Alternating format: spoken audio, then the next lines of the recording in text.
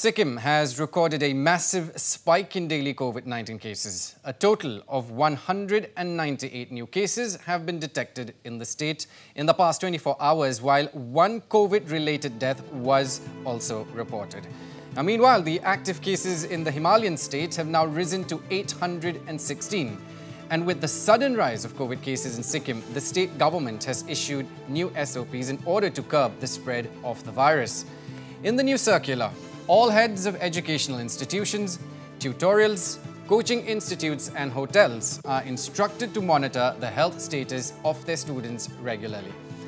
Well, the SOPs also directs the chief education officers to take a call on suspension of classes if a sudden rise in COVID cases is observed in any particular school. The SOP further directs all institutions to observe all COVID-19 protocols and the standard operating procedures and guidelines issued by the Ministry of Health and Education.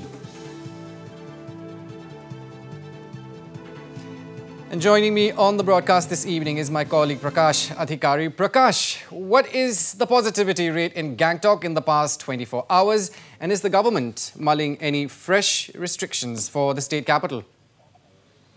Uh, yes, uh, around uh, massive uh, COVID-19 uh, cases uh, rising in Sikkim and today in last 24 hours, uh, 198 new cases uh, detected in the state and uh, one COVID-related death also. And now active cases is uh, 816 and the positivity rate in the capital town in Gangtok is uh, 22 percent.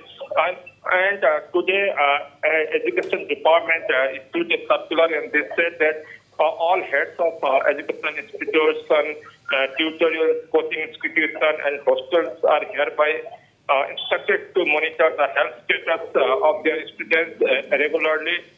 if any of the students develops symptoms of cough, cold, and for more than two days, they may be advised to stay at home. And other, uh, in the notification, and they also mentioned that, that if a sudden uh, rise in cases uh, is observed uh, in any particular school, uh, chief education officer in district may decide to suspend affected classes for up, uh, up to two days and take steps for the proper sanitization.